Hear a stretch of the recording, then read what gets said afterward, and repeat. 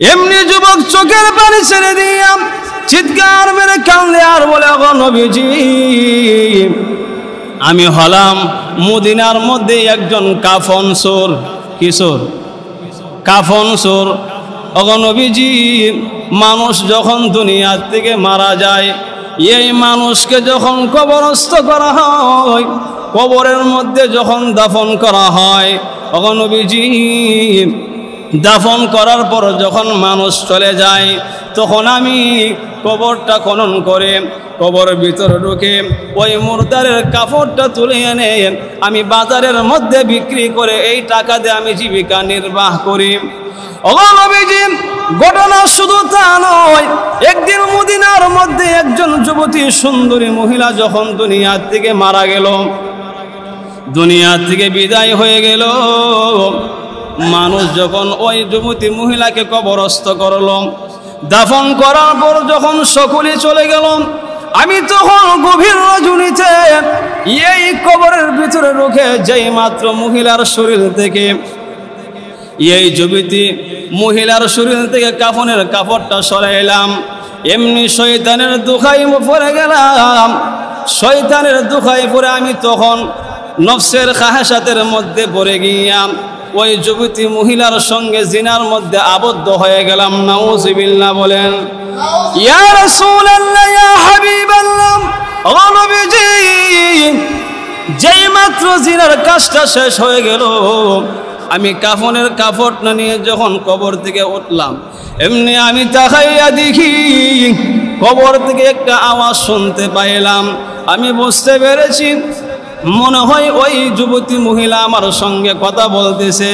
এমনি যুবতী মহিলা ডাক দিয়া বলেন, যুবক রে, আজকে এতগুলা মোরদারের সামনে তুমি আমাকে নাফাক করে দিলে, অলঙ্গ করে দিলে। রে যুবক কঠিন কিয়ামতের দিন আমাকে নাফাক অবশ্যই আল্লাহর সামনে ওঠার জন্য বাধ্য বাধ্য করলে। যুবক রে, তুই তো আমারে ধ্বংস করে দিলে। ইয়া রাসূলুল্লাহ, ইয়া হাবিবাল্লাহ ও নবীজি, এই ঘটনা শোনার পরে, ওই মহিলার কথা শোনার পর আমার ভিতরে একটা কম্পন শুরু হয়ে গেল। আহারে, আমি তো অনেক বড় গুনাহ করে ফেলেছি, অনেক বড় নাফরমানি করে ফেলেছি। অগনবীজি এই গুনাহগুলি স্মরণ করে আমি হাউ মাউ করে কান্দিছি আল্লাহর হাবিব, বিশ্ব নবী যুবকের এই কাহিনী শোনার পরে নবীজি চোখের পানি ছেড়ে দেয়া কান্দে আর বলে, এরে যুবক, মানুষের রুচি এত নিচু নামলো কেমনে? মুর্দারের সঙ্গে কেমনে মানছে জিনার কাজ করে? এরে যুবক, তুমি আমার কাছ থেকে দূরে চলে যাও। ভাইয়ার আমার যুবক হাউ মাউ করে কান্দে আর পাহাড়ের দিকে দৌড়ে আর বলে, প্রভু আয় আল্লাহ, আমি জানি যার কেউ নাই, তার তো মহান আল্লাহ আছে। জোরে কোন ঠিক কি না? যার কেউ নাই, তার আছে কে? আল্লাহ আছে। যার কেউ নাই, তার আছে কে? যুবক চোখের পানি ছেড়ে দিয়া কান্দে আর বলে রব্বুল আলামিন শয়তানের দোহাই পরে অন্যায় কাজ করে ফেলেছে, অপরাধ করে ফেলেছি। তোমার হাবিবের দরবারে গিয়েছি, তোমার হাবিব আমাকে দূরে টেরে দিয়েছে। আল্লাহ আমার বিশ্বাস, দুনিয়ার সকলে বিদায় করতে পারে, তুমি আল্লাহ আমাকে বিদায় করতে পারো না। সুবাহান আল্লাহ বলেন। দুনিয়ার সকলে বিদায় করতে পারে, আল্লাহ তার বান্দাকে বিদায় করতে পারে। চল্লিশ দিন পর্যন্ত যুবক কান্নাকাটি করার পরে এমন কান্না কানছে, যার কারণে যুবকের কান্নার কারণে আসমানের মধ্যে কান্নার রোল পড়ে গেছে। জুড়ে বলেন না সুবাহান আল্লাহ তাআলা সঙ্গে সঙ্গে জিব্রাইলকে নবীজির কাছে পাঠাইছে। সুবাহান আল্লাহ বলেন না। জিব্রাইল এসে বলে হাবিব, ইয়া রাসূলুল্লাহ, ইয়া হাবিবাল্লাহ নবী গো আল্লাহ আপনাকে তিনটা প্রশ্ন করেছে। এক নম্বর প্রশ্ন হইল অগনবীজি আল্লাহ বলেছেন, এই পৃথিবীর মালিক আপনি না মহান আল্লাহ? আল্লাহ নবী, বিশ্ব নবী, রাহমাতুল্লিল আলামিন তখন রেখে রেখে বলে, হে ভাই জিবরাইল, এই পৃথিবীর মালিক তো আমার আল্লাহ।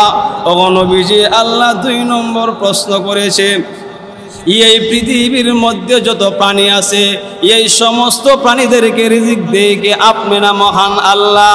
আল্লাহ নবী, বিশ্ব নবী, রাহমাতুল্লিল আলামিন তখন রেখে রেখে বলে রে জিবরাইল, এই পৃথিবীর মধ্যে যত প্রাণী আছে, সমস্ত প্রাণীর রিজিকের মালিক তো মহান আল্লাহ, কতক্ষণ ঠিক কি ঠিক না? এমনি জিবরাইল বলেন নবীজি, তিন নম্বর প্রশ্ন হলো আল্লাহ বলেছেন, এই পৃথিবীর মধ্যে যত মানুষ আছে, মানুষ যখন গুনার কাজ করে, নাফরমানি করে, এই মানুষ যখন আল্লাহর কাছে তৌবা করে, এই গুণাগুলিকে মাফ করে কে? আপনি না মহান আল্লাহ? আল্লাহ নবী চোখের পানি ছেড়ে দেয়া, কান দেয়ার বলে, রে ভাই জিবরাইল, মানুষ যখন গুনার কাজ করে, শয়তানের দুখাই পড়ে, যখন নফসের দুখাই পড়ে, যখন গুনাহা করে এই মানুষ যখন আল্লাহর কাছে তওবা করে, মহান আল্লাহ তার গুণাগুলিকে মাফ করে দেন। অগণবিজি আল্লাহ যদি বান্দা বান্দির গুণাগুলিকে মাফ করে দেন, তাহলে আপনি কেন ওই যুবককে বিদায় করে দিলেন? আল্লাহ বলেছেন, ওই যুবকের জীবনের গুণাগুলি আল্লাহ মাফ করে দিয়েছে। সুবাহান আল্লাহ বলে অগণবিজি মানুষ গুনাহ করার পর যখন তওবা করে আর আল্লাহ যখন বান্দা বান্দির গুণাগুলিকে মাফ করে দেন, তাহলে আপনি কেন ওই যুবককে বিদায় করে দিলেন? আল্লাহ এই মুহূর্তে আমাকে ঘোষণা দিয়ে বলেছে, ওই যুবকের কান্নার কারণে আসমানের মধ্যে কান্নার রোল পড়ে গেছে, এজন্য মহান আল্লাহ যুবকের সমস্ত জিন্দিগির গুণাগুলি মাফ করে দিছে আর জোরে বলেন সুবাহান তো আর আমার আল্লাহ যদি আমাদেরকে মাফ করে, তাহলে প্রধানমন্ত্রীর অনুমতি লাগবো? জোরে বলে অনুমতি লাগবো? কারও অনুমতি লাগবে না। এজন্য আমার আল্লাহ এমন দয়ালু, বান্দাকে মাফ করার জন্য শুধু ওসিলা বাহানা তালাশ করে জোরে বলেন সুবাহান আল্লাহ আসুন আমি আপনাদের সামনে যে আয়াতে কারিমা তেলাবাদ করেছি, এই আয়াতের মধ্যে আল্লাহ তাআলা বলেন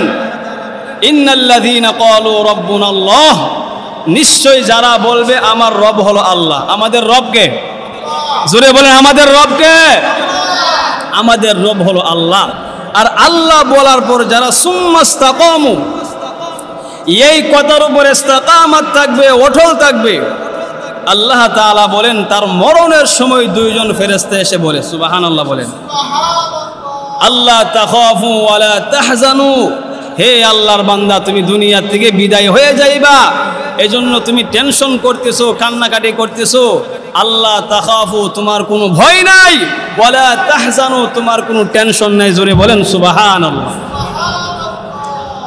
ও আবশিরু বিল জান্নাহ। তুমি দুনিয়ার থেকে বিদায় হয়ে যাইতেছো আর ভাবতেছো হারে দুনিয়ার মধ্যে অনেক কিছু তৈরি যাইতেছি। বলে না হে আল্লাহর বান্দা, তুমি এমন এক জগতের মধ্যে পা রাখতেছো। ও আব বিল জানলা তোমার সঙ্গে আল্লাহ যে প্রতিশ্রুতি করেছিল সেই প্রতিশ্রুতি গ্রহণ করো, অর্থাৎ তুমি জান্নাতের সুসংবাদ গ্রহণ করো। বলে। আমার বার আমাদের রবকে। আল্লাহ, আমাদের রবের নাম কি? জোরে বলে, আমাদের রবকে। আল্লাহ, এই কতর উপরে ইস্তাকামাত থাকতে হবে। এর নাম হলো ইমান এর নাম কি? ইমান কিন্তু বর্তমানে আমাদের ইমান হয়ে গেছে কুসু ফাতার ফানির নেই। নড়াচড়া করে কতক্ষণ ঠিক কি ঠিক না। কিন্তু সাহাবায় কারামের দিকে লক্ষ্য করলে তাহা দেখা যায় যে তাদের উপর অনেক নির্যাতন করা হয়েছে, জুলুম করা হয়েছে এরপরে ইমান থেকে পিসপা হয় নাই সুবাহান আল্লাহ বলেন আল্লাহ বিশ্ব একজন সাহাবি, যার নাম হলো আল্লাহ নবীর ইয়া হাবিবাল্লাহ আমি কালো হওয়ার কারণে কি আল্লাহর তৈরি জান্নাত পাব না? আল্লাহ নবী বলেন, রে আমার সাহাবী, তোমার ভিতরে ইমান আছে। তুমি এক আল্লাহকে বিশ্বাস করো, আমি নবীকে তুমি বিশ্বাস করো। সাহাবি রে, তোমার ভিতরে ইমান আছে। তুমি দুনিয়া থেকে বিদায় হয়ে গেলে তোমার জন্য জান্নাত ওয়াজিব হয়ে যাবে। সুবহানাল্লাহ বলে এমনি ওই কালো সাহাবি সাদে সালামি বলে, ইয়া রাসূলুল্লাহ, ইয়া হাবিবাল্লাহ, নবী গো। তাই যদি হয় তাহলে মক্কার মদিনার লোকেরা তাদের মেয়েকে আমার কাছে বিবাহ দেয় না কেন? কালো আর গরিব কই বিদায় করে দেন? আল্লাহ নবী বলেন, তাই নাকি? বলে হ্যাঁ ইয়া রাসূলুল্লাহ। আমার তিরিশ থেকে পঁয়ত্রিশ বছর হয়ে গেছে। ইয়ের পরও কেউ আমার কাছে তাদের মেয়েকে বিবাহ দেয় না। আল্লাহ হাবিব তখন রেখে রেখে বলেন মদিনার মধ্যে এমন কোন মেয়েকে তুমি পছন্দ করো কিনা আমার কাছে বলো। এমনি সাদ সালামি বলে, ইয়া রাসূলুল্লাহ, ইয়া হাবিবাল্লাহ। নবী গো, মদিনার মধ্যে বড় একজন শিল্পপতি আছে, আপনার সাহাবি। ওই সাহাবির নাম হলো আমর ইবনে ওয়াহাব সাহাবি রাদিয়াল্লাহু আনহু। তার একটা মেয়ে আছে, খুব সুন্দরী। এমনকি মদিনার লোকেরা টাইটেল দিয়েছে, হোরে মদিনা, মদিনার হোর পরে সুবাহান আল্লাহ বলেন। ও আল্লাহ নবী ওই মেয়েটাকে আমার পছন্দ হয়। আল্লাহ নবী তখন রেখে রেখে বলে, রে সাদে সালামি, যাও আমার পক্ষ থেকে বিবাহের প্রস্তাব নিয়ে যাও। সুবাহান আল্লাহ বলে। হে সাহাবি, আমার পক্ষ থেকে বিবাহের প্রস্তাব নিয়ে যাও। তখন ওই সাহাবি মুদিনার সবচাইতে বড় শিল্পপতি আমর ইবনে ওয়াহাব সাহাবি রাদি আল্লাহ বাড়ির মধ্যে ঢুকে বলেন, আসসালামু আলাইকুম আল্লাহ রসুলের পক্ষ থেকে বিবাহের প্রস্তাব নিয়ে এসেছি। আল্লাহ রসুল বলেছেন, আপনার একমাত্র মেয়ে হৌরে মুদিনাকে আমার সঙ্গে বিবাহ দেওয়ার জন্য। সুবাহান এই কথা বলি ডাইরেক্ট আবার রসুলের দরবারে চলে গেছে। এই দিক দিয়ে আমর ইবনে সাহাবি আনহু বলতেছে, কে তুমি বিবাহের প্রস্তাব নিয়ে এসেছ? শুধু বিবাহের প্রস্তাবে দিয়ে দৌড় মারছো, কে তুমি? তখন মেয়েটা বলতেছে, আব্বু, কি হয়েছে? বলে, একটা কালো লোক তোমার বিবাহের প্রস্তাব নিয়ে এসেছে, কিন্তু লোকটা তো আমার সামনে দাঁড়াইলো না, ডাইরেক্ট আবার দৌড় মারছে। এমনি মেয়েটা বলতেছে, আব্বু, শুধু কি লোকটা বিবাহের প্রস্তাব নিয়ে এসেছে, না কারও পক্ষ থেকে এসেছে? সুবাহান আল্লাহ বলে। বলে, সে নাকি বিশ্বনবীর পক্ষ থেকে এসেছে। তখন মেয়েটা বলছে, আব্বু, যদি বিশ্বনবীর পক্ষ থেকে বিবাহের প্রস্তাব এসে থাকে তাহলে আপনি এই মুহূর্তে বিবাহের প্রস্তাব নিয়ে যান। সুবাহান আল্লাহ তখন মেয়ের আব্বা বলছে, মা, তুমি তো ছেলে দেখো নাই ছেলেতে অনেক কালো। তখন মেয়েটা বলছে, আব্বু, ছেলে কালো হোক কিংবা সুন্দর হোক, যদি আমি এই ছেলেকে গ্রহণ করতে পারি কেমতের কঠিন ময়দানে আমি হাসতে হাসতে জান্নাতের ভিতরে প্রবেশ করতে পারব। আল্লাহ বলে। আল্লাহ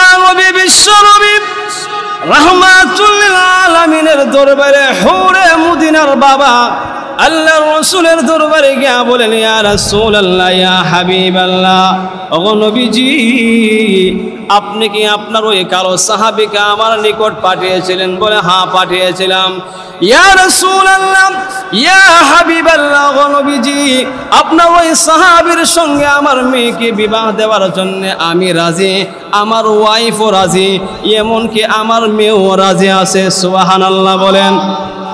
আল্লাহ নবী ডাক দিয়া বলেন, রে হুরে মুদিনার বাবা, তুমিও যেহেতু বিবাহের প্রস্তাব গ্রহণ করেছ, তাহলে আজকেই বিবাহ হয়ে যাক।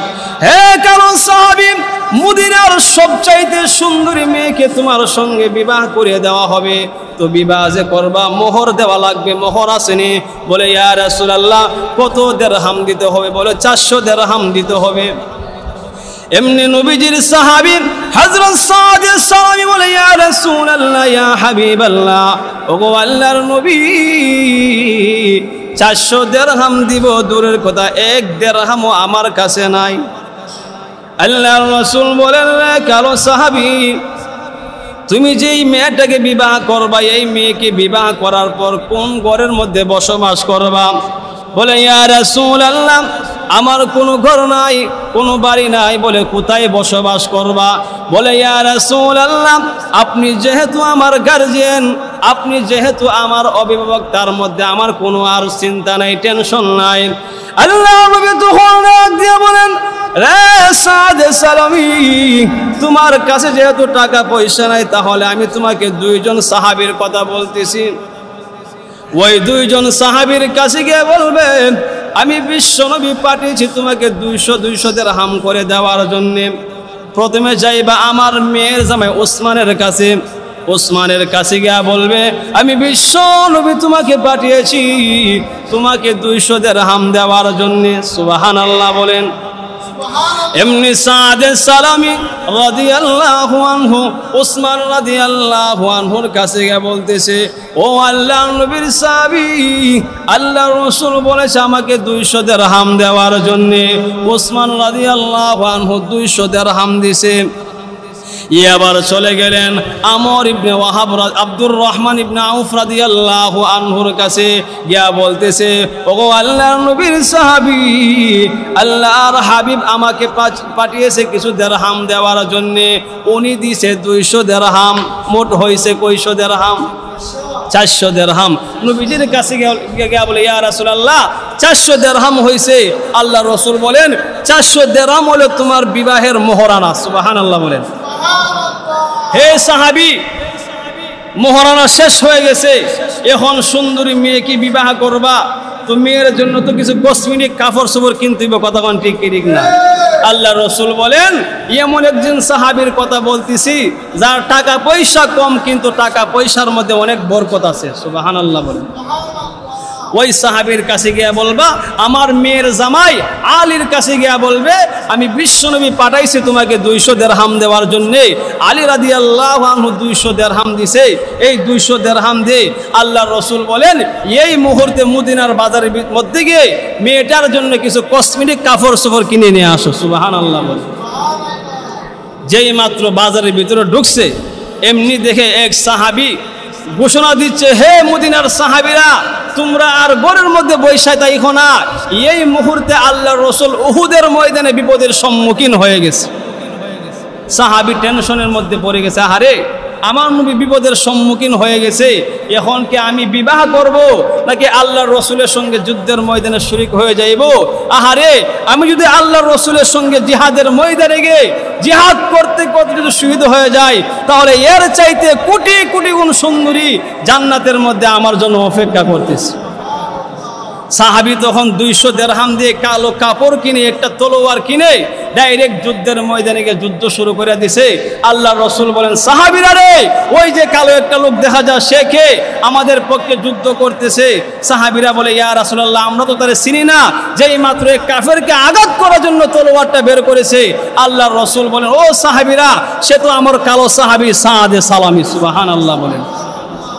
যুদ্ধ করতে করতে গুড়ার উপর থেকে জমিনের মধ্যে পড়ে গেছে।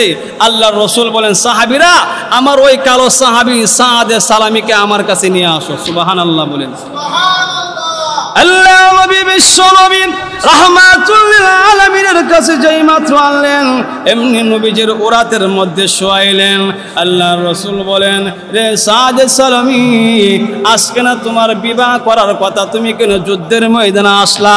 বলে, ইয়া রাসূলুল্লাহ, ইয়া হাবিবাল্লাহ, ওগো আল্লাহর নবী, যেই মাত্র আমি মদিনার বাজারের মধ্যে ঢুকলাম, এমনি কে যেন ডাক দিয়া বলেন, মদিনার সাহাবীরা রে, আর ঘরের মধ্যে বৈশা তাই খোনা এই মুহূর্তে আল্লাহর হাবিব ওহুদের ময়দানে বিপদের সম্মুখীন হয়ে গেছে। আপনি বিপদের মধ্যে পড়ে থাকবেন আর আমি বিয়া করব তাকে হইতে পারে। এই জন্য আমি ডাইরেক্ট যুদ্ধের ময়দানে অংশগ্রহণ করে যুদ্ধ শুরু করে দিছি। আল্লাহ নবী এমন কথা শুনে ওই সাহাবীর জবান থেকে এমন কথা শুনে নবীদের চোখ দ্বারা পানি পড়তেছে। সাহাবীরা বলেন ইয়া রাসূলুল্লাহ, ইয়া হাবিবাল্লাহ, ওগো আল্লাহর নবী, আপনি কোন চোখের পানি ছেড়ে দেয়া কান্দেন। আল্লাহ নবী ডাক দেয়া বলেন, রে আমার সাহাবীরা আমার সাহাদে সালামের ভালোবাসা দেখে, আমার জন্য কত ভালোবাসা, আল্লাহর জন্য কত ভালোবাসা, তার এই ভালোবাসা দেখে আমি নবী চোখের পানি সামনে রাখতে পারিনি। আল্লাহ নবীর চোখের মধ্যে পানি দেখে ওই কালো সাহাবি বলে, ইয়া রাসূলুল্লাহ, ইয়া হাবিবাল্লাহ, ও নবীজি, আপনি কেন চোখের পানি ছেড়ে দেয়া কান্দেন? আমি যদি এই মুহূর্তে দুনিয়া থেকে বিদায় হয়ে যাই, তাহলে কি আল্লাহর তৈরি জান্নাত পাবো না?